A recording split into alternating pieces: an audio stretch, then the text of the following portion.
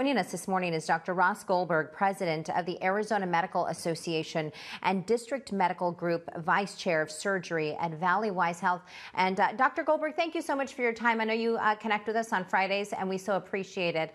Um, it has been now a few days that we have seen these numbers over that 4,400 mark in terms of COVID 19 uh, numbers here in Arizona. What are your thoughts now that we're starting to see some of these numbers rise? Good morning again, as always. Uh, yeah, this is a concern. Uh, I've mentioned it the last couple of weeks that we're starting to see a trend in the wrong direction. It's not just case numbers, it's hospitalizations, it's everything put together. It is a warning sign that we need to really get a hold of this and get in front of the virus. We have uh, examples in other surrounding states of how things can get really bad. We don't want to get to that point. Mm-hmm. And now the message really needs to be strong that we all have to do our part, wear a mask, social distancing, all of that. Yeah, you mentioned some of the other states with California instituting um, that curfew from 10 p.m. to 5 a.m. We do not want to see that here in Arizona. Can you speak a little bit about the um, the governor made the announcement earlier this week, millions of dollars going towards um, you know some of the hospitals or medical staff here in uh, in Arizona to help with this effort. Do you know where that money will go? Uh, no, I've not heard any details of the plan. I appreciate uh, the offer to provide funds to hospitals. Again, I've mentioned before, resources are scarce.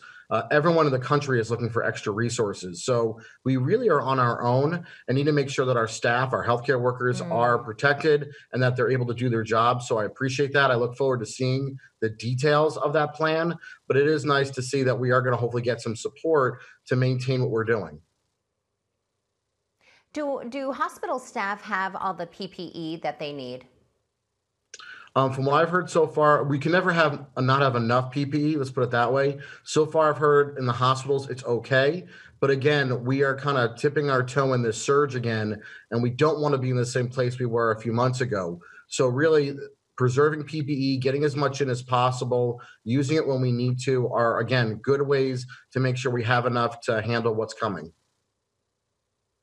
You know, uh, there was a lot of chatter early on uh, during the pandemic here in the Valley about setting up St. Luke's Hospital, which has now, uh, of course, closed uh, a number of years ago, I believe, and setting that up kind of as a reserve to care for COVID 19 patients. What are your thoughts on, on maybe setting that up just for COVID 19 patients, or is that just an effort that is too large to take, too costly to implement? Well, I remember when we announced the uh, the St. Luke's uh, potential. I was actually standing there uh, in the background when it was discussed. So again, it's nice to have that option, but it still comes down to the staffing. You can have all the physical beds you want. Mm. If you don't mm. have the staff available, it really doesn't do you any good. So my question is, do we even have staffing available to handle that, given what's going on in the country? Is it a good backup plan? Absolutely. We should have everything and anything on the table to prepare. But right now, we really want to get everyone's attention to stop the surge where it is. And that's why we need to do all of these other uh, recommendations beforehand so we don't have to get to that point and have to think about it in those terms. So 30 seconds, I have one last question for you. Then do you see a lot of these traveling nurses potentially visiting Arizona to help with the, with the effort?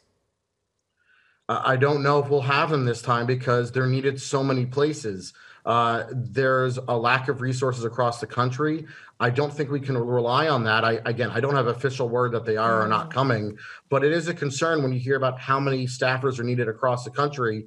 There aren't enough people to handle that. So I don't think we should be relying that they're coming to help save everything. We have to really rely on the resources we have here. All right, Dr. Goldberg, thank you so much for your time this morning. Wear our masks, be safe, social distance, um, and uh, we appreciate your time. Have a great weekend and happy Thanksgiving. Happy Thanksgiving to you as well.